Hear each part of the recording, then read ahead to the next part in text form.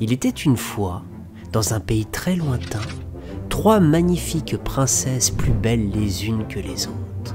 Elles rêvaient toutes les trois du magnifique et somptueux prince charmant, Édouard aux dents d'argent. Le roi proposa à chacune des princesses un terrible défi pour tenter de conquérir le cœur de leur prince bien-aimé.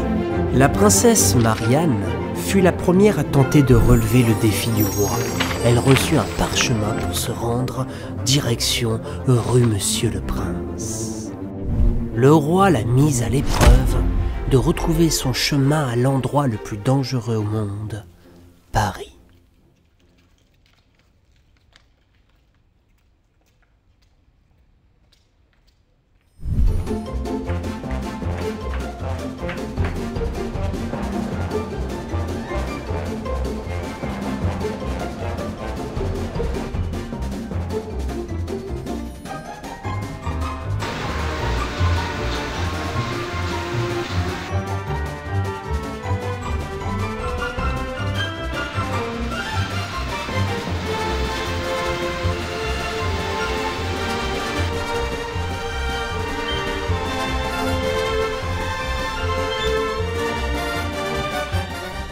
Malgré des tentatives acharnées en ce milieu hostile, Princesse Marianne ne parvint jamais à trouver le bon chemin.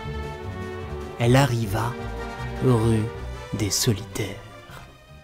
Serait-ce le symbole de son destin? Princesse Sarah fut la deuxième à tenter de relever le défi du roi. Elle reçut alors pour l'aider dans sa tâche un morceau de toile grossière et résistante et fut envoyée dans les donjons. Le roi la mise à l'épreuve de nettoyer les donjons du terrifiant château de Clavel.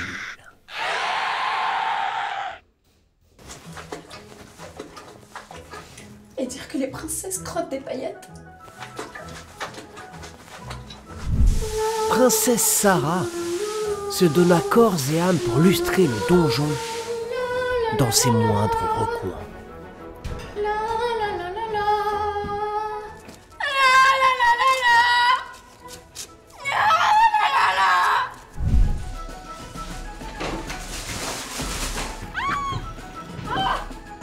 La légende raconte qu'elle serait toujours coincée dans la poubelle. Princesse Léa tenta à son tour de relever le défi du roi. Elle reçut pour l'aider un manuscrit du plaisir et fut envoyée dans le palais de l'extase. Le roi la mit à l'épreuve de préparer un mets du bonheur pour le prince Édouard. Sortir du four, un petit gâteau, un petit gâteau d'amour. oh diantre Oh, C'est pas beau.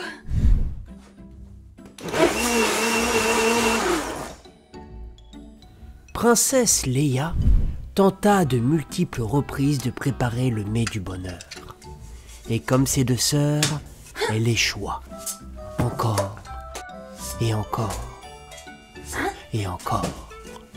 Mais contrairement à elle,